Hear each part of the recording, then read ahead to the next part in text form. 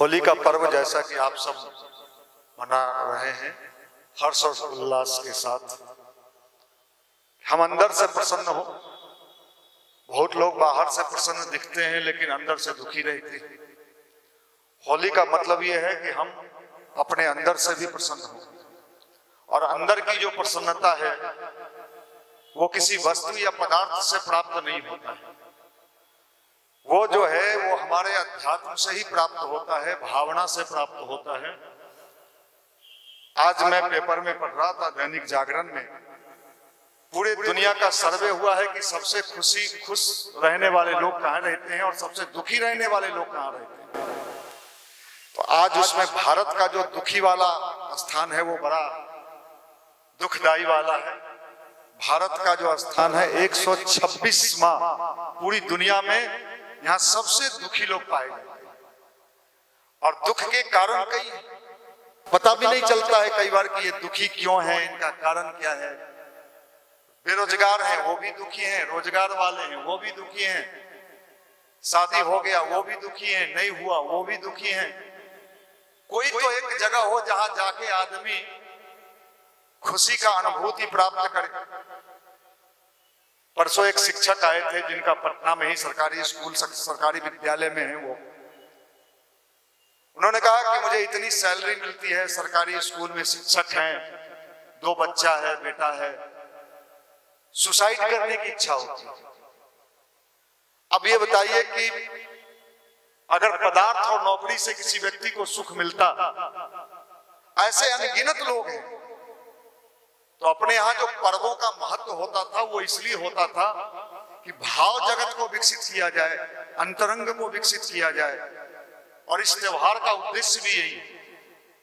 लेकिन हमने त्योहार को भी बुरा बना दिया। जो हमारे खुश करने वाले त्योहार थे, वो पीने खाने वाला त्योहार बन गया, नशा लेने वाला त्योहार बन गया, और दुखी होने वाला त्योहार बन गया।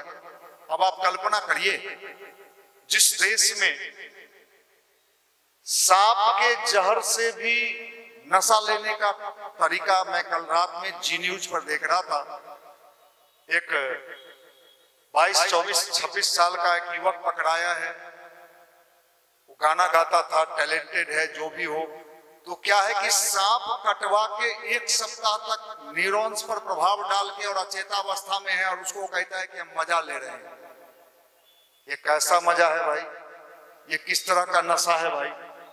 तो आप समझिए, अपने देश में लोगों को प्रसन्न करने का जो तरीका था, त्योहारों के माध्यम से, पर्वों के माध्यम से, आनंद मनाने के लिए जितने पर्व हिंदू धर्म में हैं, इतने पर्व संसार में किसी भी धर्म में नहीं है। कारण क्या है? हमने उस तरीका को विकसित किया था कि कैसे प्रसन्न रह सके, इसके लिए त्योहारों का निर्माण हुआ। उसके पीछे कहानियाँ हुई। प्रहलाद, ये, वो बहुत सारे। तो हमें विचार करना पड़ेगा कि आज जो हम लोगों का समय आया है, ये होली का समय, आप स्वयं भी होली को समझिए और दूसरों को भी समझाइए।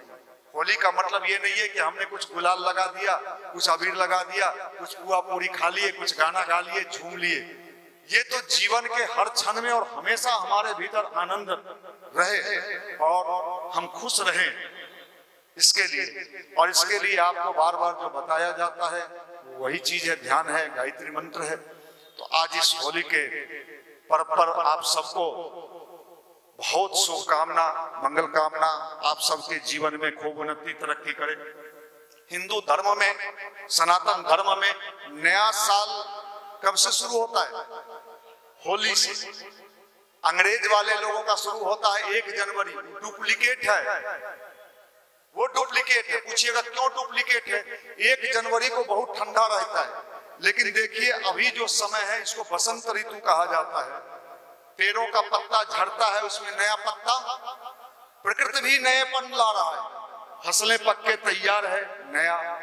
हमारा वाला ही ओरिजिनल है क्योंकि प्रकृति भी हमको सपोर्ट कर रहा है। इसलिए असली नया साल यही है। और नया साल मनाना कैसे चाहिए?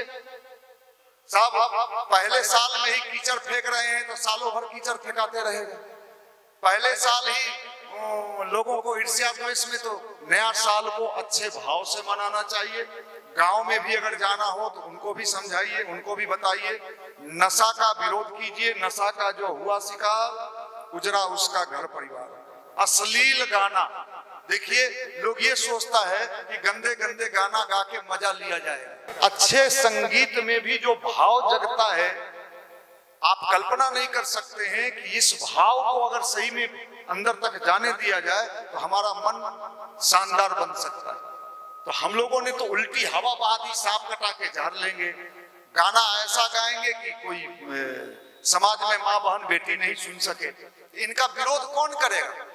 बूढ़े लोग तो करेंगे नहीं इनका तो उम्र बीत गया जो लेना देना था ले दे के अपना घुटना का इलाज कराएँगे। हाँ अब तो आप ही को करना है बुरा न मानो होली है। हाँ, हाँ, तो ये ये कौन खड़ा होगा? आपको खड़ा होना होगा आपको इसका विरोध करना होगा नहीं आप भी मज़ा लेने लगेगा तो प्रकृति आपसे भी ऊपर कोई है? ये मत सोच लीजिएगा कि हम तो लेंगे जो होगा देखा जाएगा। अगर आप भी ये सोचते हैं, हम तो लेंगे मज़ा जो होगा देखा जाएगा, देखा नहीं जाता है। हमारे आपके ऊपर भी एक है प्रकृति नेचर जो बैलेंस बना देता है। और उसका बैलेंस जब बनता है तो आदमी छाती पीटता है, गायत्री मंदिर जाए कि हनुमान मंदिर जाए, कि साईं बाबा के मंदिर जाए कि भोला बाबा के मंदिर जाए।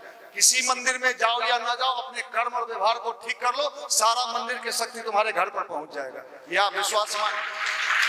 इसलिए हमें होली में अच्छे संगीत गाना है, गंदे संगीत से परहेज करना है, ये हमारे मिशन की योजना है। नशा किसी रूप में, गाँव में जाइएगा तो बहुत लोग आपको कहेगा, अरे भाँग खाओ, भाँग तो भोला बाबा भी खाते हैं। हाँ गांजा भोला बाबा भी पीते हैं।